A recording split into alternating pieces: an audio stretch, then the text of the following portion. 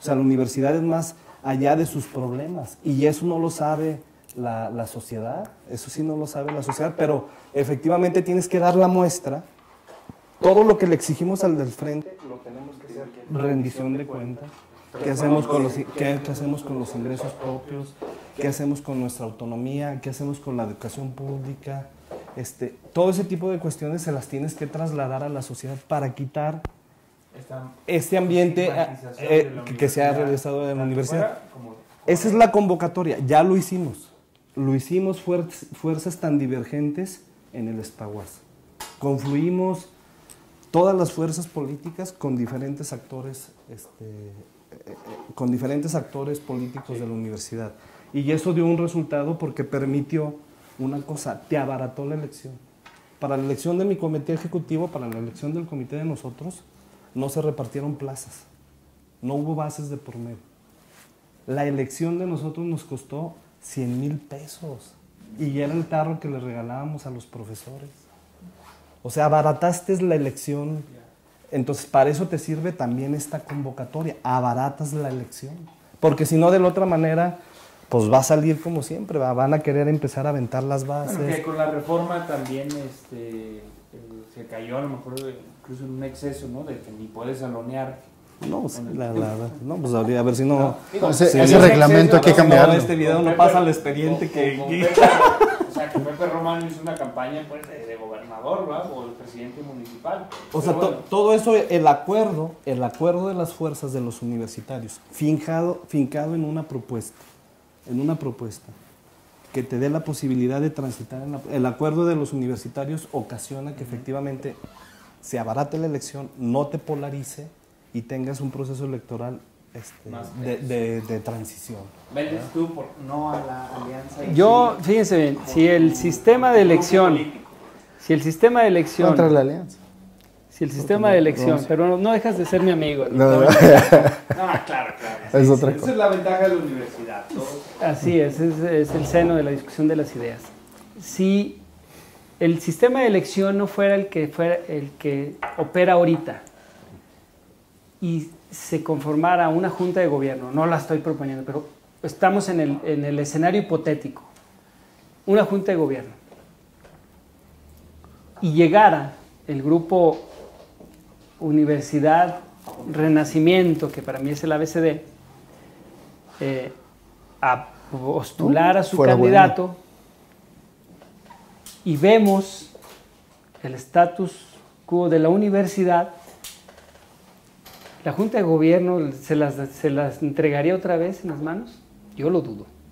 Y eso es lo que los universitarios debemos de reflexionar, porque no hay Junta de Gobierno, somos el conjunto de universitarios y debemos de reflexionar cómo estamos y si queremos continuar con el mismo sistema político. El PRI cayó después de 70 años, regresó y regresó peor, pero finalmente hubo un, un parteaguas ahí y que genera, es el comienzo de las alternancias del poder.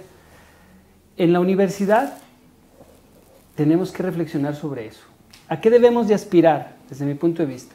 A que se restablezca el Estado de Derecho con un sistema de rendición de cuentas y con un sistema de sanciones claro y eficaz. Porque el Consejo Universitario existe.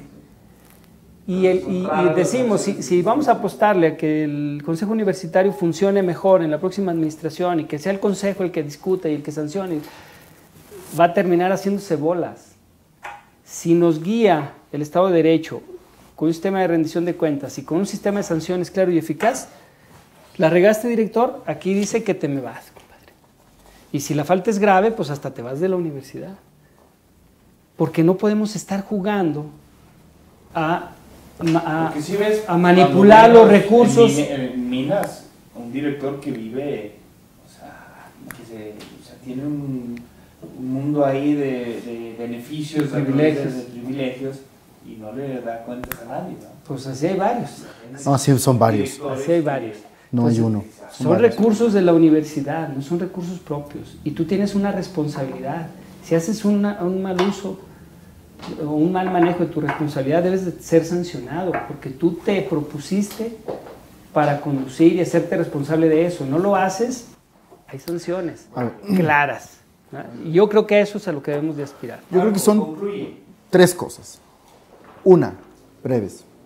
Una, en este proceso no se deben de cambiar personas, sino estructuras de mando. Eso es lo fundamental a lo que tenemos que apostar. Si solo cambiamos personas con la misma estructura que tenemos, no va a servir de nada. Va a seguir Estoy de acuerdo. pasando lo mismo. Esa es una. Entonces hay que ver qué nuevas estructuras de mando necesitamos darnos ¿ah? como compromisos para modificar ese estatuto. Dos, este, necesitamos generar limpieza de algunos eh, elementos cancerígenos, tóxicos en la universidad.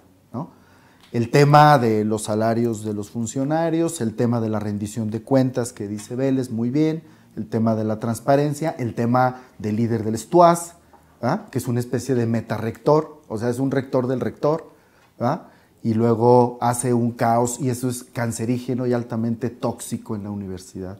Eso se tiene que resolver. Eh, y tres, discutir en serio el tema de, y se convocó para eso a un congreso de reforma, porque tenemos que preguntarnos qué pasó con la reforma universitaria que en realidad ha sido abandonada o suspendida. La reforma del 2000, que tiene cosas muy rescatables, fue una reforma abandonada por esta nata burocrática en donde no existe nada, no, hay, no se aplicó ni el modelo pedagógico ni los principios de conducción, casi nada de la universidad. Seguimos actuando con una simulación de una estructura académica por escuelas y facultades, nada más que con otro nombre.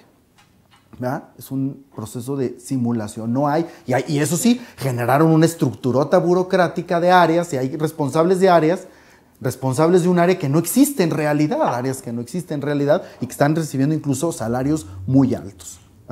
Entonces, eso significa generar un nuevo modelo académico, el modelo de universidad-desarrollo, el tema de la rectoría de gabinete y el tema del presupuesto participativo en la universidad reglamentado. Muy bien, pues Muchas gracias, el tema nos podríamos seguir aquí. Y Marcos en el electoral, ¿no? Pero agradecerles eh, a la presencia de, todos ustedes que son actores importantes en la universidad y invitarlos de nuevo a cuenta que estemos en contacto, ¿no?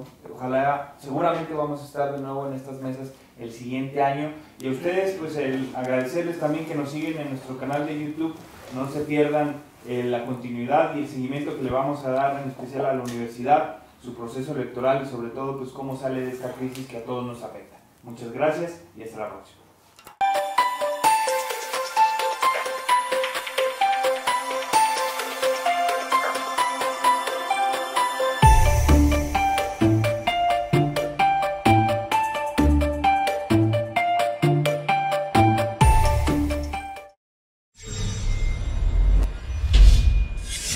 La Jornada Zacatecas TV un espacio de libertad.